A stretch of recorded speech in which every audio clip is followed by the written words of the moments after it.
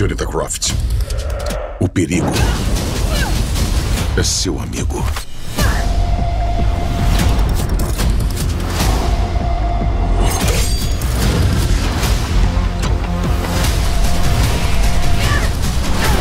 Por quanto tempo vai conseguir persistir?